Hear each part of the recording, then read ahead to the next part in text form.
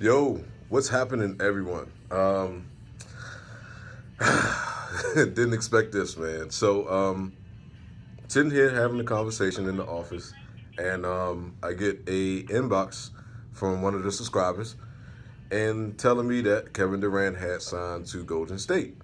Now, I, of course, you know, I see stuff like that. I got to always double check and make sure that's actually true. I go on ESPN, and of course, biggest day breaking news Kevin Durant signs a two-year deal worth uh, 56 million. Um, now, let me just double check and make sure I'm looking at the figures correctly, just to be on the safe side. So yeah, uh, two-year deal, 56 million. Um, my thoughts about this is I wonder what type of backlash he's going to get from this um, because of the simple fact of him leaving and going to pretty much a contender off breaks as far as um, without Kevin Durant. Now that they have Kevin Durant, I think they are easily the favorite to win next season. And um, I think this is a major, major, major decision um, that I didn't think Kevin Durant would actually make as far as leaving to go to Golden State.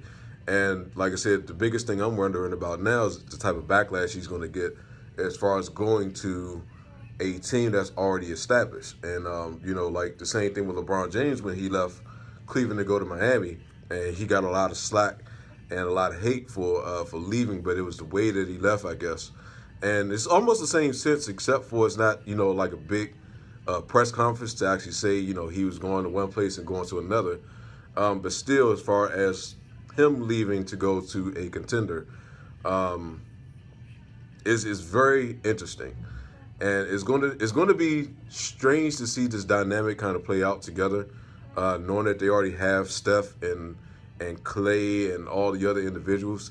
Um, it, I want to really see who's going to end up taking the back seat in this actual um, in this combination together now, and um, I'm I'm quite surprised. I'm very, very, very surprised that uh, Kevin Durant made the jump to go to Golden State. Um, but I don't fault him.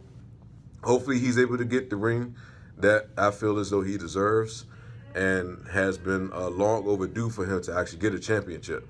So um, that's my really thoughts. That's my thoughts really. Uh, very quick, very uh, short, not anything. Um, too detailed because I mean, there's nothing you can really do except for speculate. So um, leave your comments below. Let me know what you guys think. For those of you that are new, getting tongue-tied, um, if you enjoyed this video and you'd like to be a part of the A Team, then make sure you go ahead and subscribe. And then um, can't wait to see what you guys have to say. So till then, holler at you later. Peace.